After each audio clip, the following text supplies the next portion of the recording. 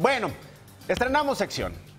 Normalmente, cuando te equivocas en algo, la gente aplica la famosa frase, el hubiera no existe. Cuando dices, ay, si hubiera hecho esto, no me hubiera pasado lo otro. ¿Y qué te dicen? El hubiera no existe. Aquí en DPC, el hubiera sí existe y lo vamos a demostrar con esta noticia. ¿No es así, mi querido Manolo? En efecto, Nacho. A ver. Si pudiéramos regresar el tiempo y cambiar nuestras acciones, pues todo podría ser muy diferente. ¿no? Eh, pues, sería muy diferente. Por ejemplo, tenemos la foto original, ¿no? De la senadora de Baja California, Lucía Ahí está. Muy bien. ¿Qué decían la prensa, no? Así, es de armas tomar. Es de armas tomar, la senadora con una pistola. Exacto. ¿No? Lo que queremos demostrar en este momento es qué hubiera pasado si en lugar de la pistola hubiera traído, por ejemplo, una secadora. Ah, pues otra. No, pues hubiéramos, diferente, ¿no? hubiéramos aplaudido, hubiéramos dicho, bonito, ¿no? la senadora, Pues anda. qué divertida, sí que se peina, Exacto, ¿no? Se cuida, ¿no? Está muy bien. Se cuida. ¿O qué hubiera pasado si hubiera traído, por ejemplo, un manojo de cebollas?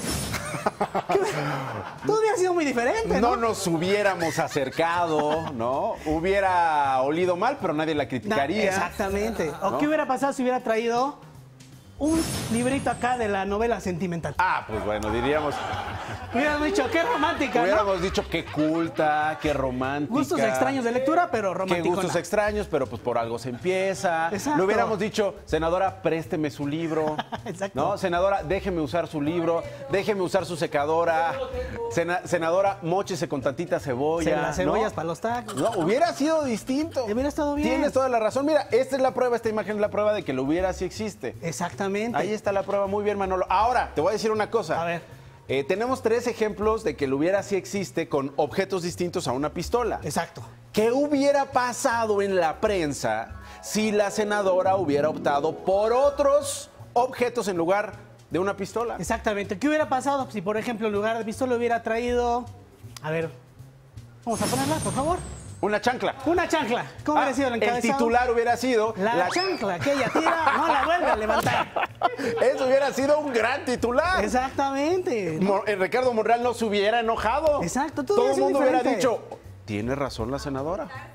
Todo el mundo hubiera dicho, aportarse bien. Ahora, ¿qué hubiera pasado si hubiera traído en lugar de la chancla y de la pistola un chipote chillón? ¿Qué hubiera dicho la prensa?